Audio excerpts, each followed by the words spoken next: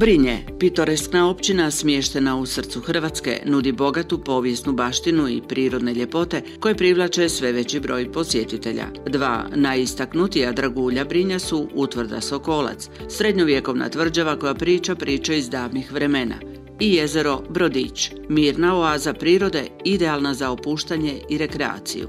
U ovoj epizodi Đira Brinje istražit ćemo kako ova dva lokaliteta doprinose razvoju turizma u Brinju. Dragi gledatelji, lijep pozdrav i dobrodošli u novu epizodu Džira Brinje. Ja sam Ruža Orešković i u današnjoj epizodi zajedno s direktoricom turističke zajednice Danielom Dasović-Vranić upoznaću vas s najvažnijim turističkim atrakcijama Brinja.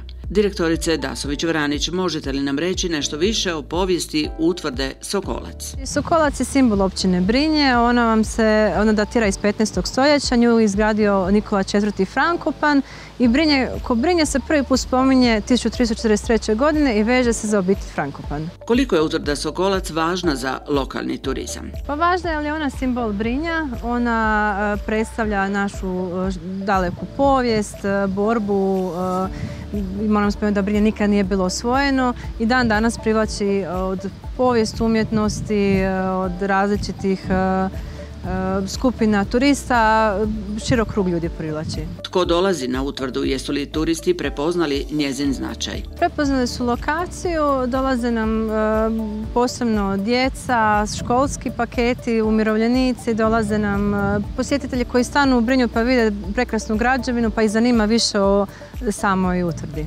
Vaš drugi turistički adut je jezero Brodić. Tako je, ono je prekrasno, sad se e, baš u fazi izgradnje šetnice, bit će 1200 metara dugačka, znači imamo i ribolovni turizam tu, imamo Znači štuku, šarana, amura, čak imamo i riječnog kraka unutra. Koje su najpopularnije rekreativne aktivnosti među posjetiteljima Brinja? Pa najviše moram priznati da je e, vožnja biciklom. E, imamo 49 km biciklističkih staza, imamo Nextby sustav javnih bicikala sa šest bicikala e, ovih klasičnih i dva električna bicikla, tako da se može upoznati sve ljepote općine Brinje. Također imamo poučno pješačku stazu, imamo planarske staze. Imate i puno manifestacija koje od njih moramo spomenuti i najaviti. Kreće Brinsko ljeto početkom sedmog mjeseca, imamo niz događanja od kina na otvorenom za djecu i odrasle, eh, rock, Kessel Rock festival dva dana, od kojih moram naglasiti da nam dolazi parni valjak u Brinje.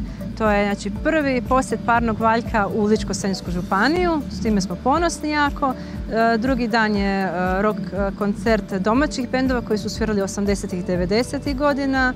Imamo proslave Svete Marije Magdalene, proslavu Dana Oluje i onda ono glavno što je za općinu Brinje prepoznatljivo, dan općine Brinje i blagdan Velike Gospe. Direktorice, kakvi su vaši planovi za razvoj turizma u Brinju u bliskoj budućnosti? Brinje je E, bogato i prirodnim i kulturnim znamenitostima, e, možemo ga povezati sa aktivnim turizmom. Mi trenutno pokušavamo sa manifestacijama i sa nekim dodatnim sadržajem povećati turističku posjećenost. Brinje nudi savršenu kombinaciju povijesnih i prirodnih ljepota koje oduševljavaju sve posjetitelje. Nadamo se da ste uživali u današnjoj epizodi i da ćete uskoro posjetiti Brinje kako biste sami doživjeli sve što nudi ovaj lijepi kutak Ličko-Senjske županije. you